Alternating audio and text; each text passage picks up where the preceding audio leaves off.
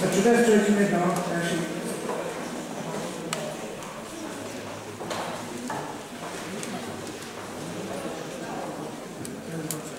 Szanowni Państwo, przechodzimy do pierwszych czytań.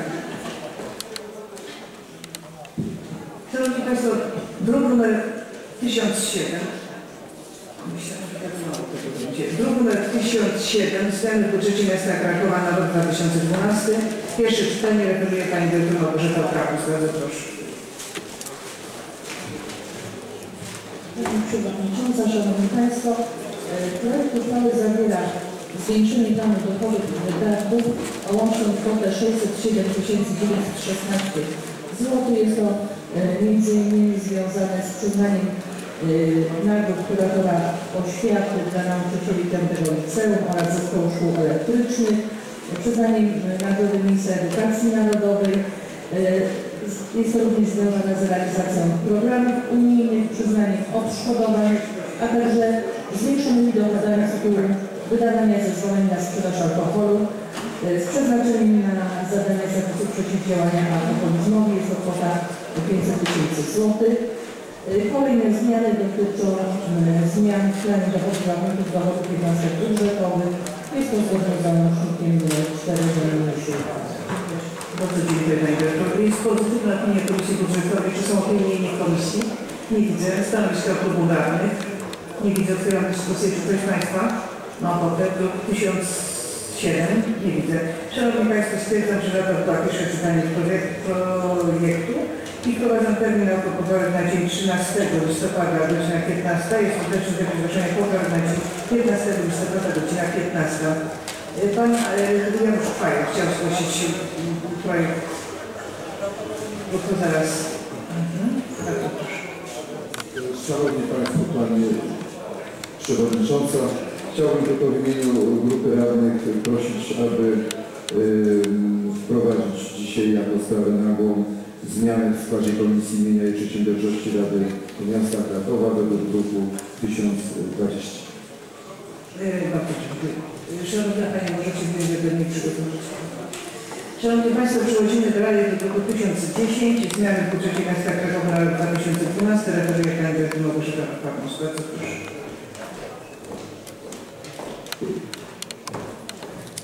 Pani Przewodnicząca, Szanowni Państwo Radni, e, projekt zawiera zmniejszenie planu dochodów i zmniejszenie planu wydatków. Jest o łączną kwotę 24 504 774 zł. Zmniejszenie dotyczy e, wydatków bieżących na kwotę 1 215 851 zł. Szczegółowo w uzasadnieniu są zadania e, wymienione, które zmniejszenie dotyczy przyczyny tych zmniejszeń oraz zmniejszenie mm, planu wydatków inwestycyjnych o łączną kwotę 23 288 893. Również szczegółowo są e, wymienione w uzasadnieniu zarówno zadania, jak i uzasadnienie zmniejszeń tych wydatków inwestycyjnych. Dziękuję. Bardzo dziękuję. Klub uzyskał pozytywną opinię Komisji Budżetowej. Czy są opinie innych komisji? Nie widzę. Klubów radnych stanowiska nie widzę. Otwieram dyskusję. Czy ktoś z Państwa druk 1010? Bardzo proszę Pan Radny Gilacki. Panie Przewodnicząca, Panie Dyrektor, Szanowni Państwo, kilka uwag. To jest druk, który dotyczy dosyć e, dużych środków, ponad 20 milionów złotych.